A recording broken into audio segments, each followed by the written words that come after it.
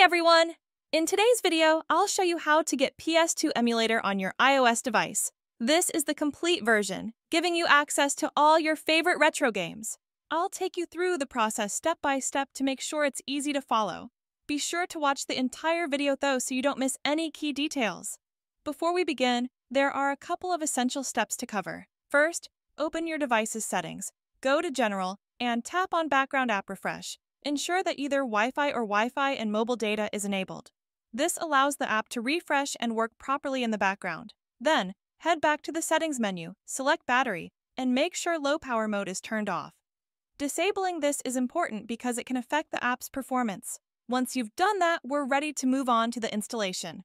Now, let's get started.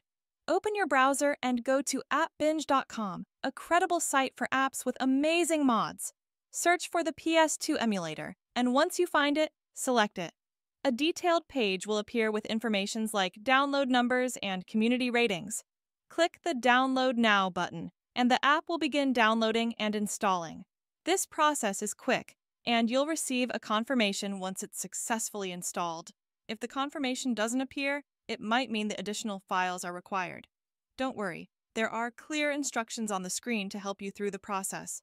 Once that's done, the installation will be complete. I've already installed it and everything works flawlessly. And that's it. That's how easily you can have PS2 emulator on iOS device.